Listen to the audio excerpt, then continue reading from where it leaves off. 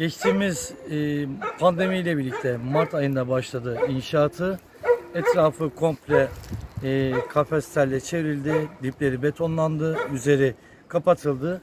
Ünye Belediyesi tarafından kuruldu. Kurulma amacı burada bölgemizden gelen misafirlerin çocuklara ilk defa e, hayvan değişik hayvanları gören çocuklar var. Onlara o hayvan sevgisini aşılamak için ve insanlara e, bu hayvan sevgisini e, tattırmak için bu niyetle kuruldu. Ve güzel de ilgi görüyor. Yani buraya bu hayvanlar için görmeye gelen çocuk sayısı, ziyaretçi sayısı gitgide artıyor. E, bütün her şeyini Ünye Belediyesi sağlıyor. Yem desteğini. Peki burada hasta hayvanlara bakılıyor mu mesela? Tedavi var mı yoksa sadece bu göstermek amaçlı mı? Ee, burada milli parklardan rehabilitasyon için gelen hayvanlar da oluyor. Ee, bakıma ihtiyacı olan, yaralanmış e, güvercin. Burada yine var, e, güvercin var.